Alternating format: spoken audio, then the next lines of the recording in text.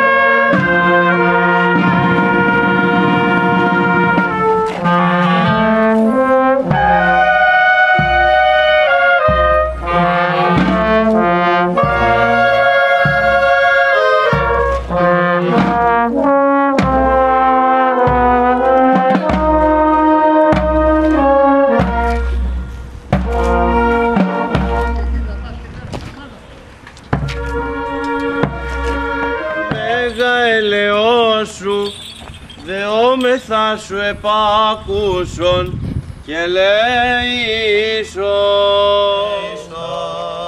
Έτι δεόμεθα υπέρ του Αρχιεπισκόπου ημών Εκταρίου και πάσης της εν Χριστώ ημών αδελφότητος του Θεού πάντων των ευσεβών και ορθοδόξων χριστιανών του διοικητού υποδίκητου αξιωματικών υπαξιωματικών και οπλιτών του στρατοπέδου τούτου, ως και πάντων ημών των συμμετεχόντων εις την Ιεράν Λιτανίαν ταύτην μετά των οικείων ημών.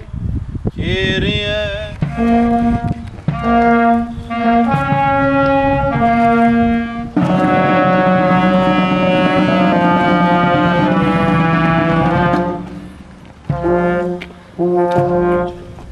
Tá com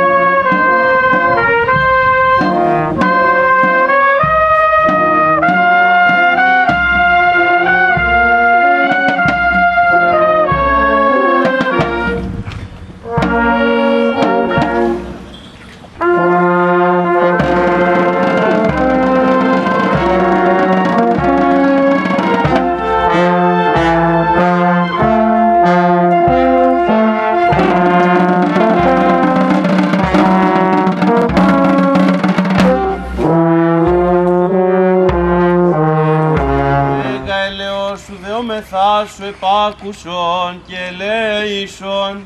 Κύριε ελέησον, Κύριε ελέησον, Κύριε ελέησον. Έτι δεόμεθα υπέρ μακαρίας μνήμης και αιωνίου αναπαύσεως, πάντων των υπέρ της πίστεως και της πατρίδος ημών, ηρωικός αγωνισαμένων και ενδόξως πεσόντων, εν της ιερής του έθνους ημοναγός υπάλετε και πεσχάτων, ως και πάντων των επελπίδη Αναστάσεως ζωής αιωνίου και κοιμημένων, πατέρων και αδελφών ημών, των ενθάδευ σεβοσκημένων και απανταχού ορθοδόξων,